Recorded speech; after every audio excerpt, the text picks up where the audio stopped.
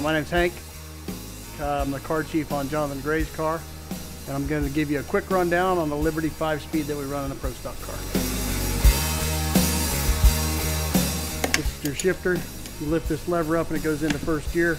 It lets the clutch out the, when the tree comes down and he never uses the clutch again.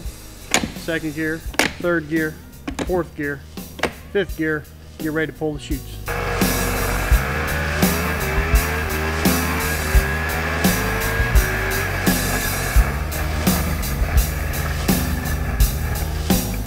Same thing with, with the bottom half. This transmission's upside down. So you got first gear right here, second gear right there, third gear right here, fourth gear here.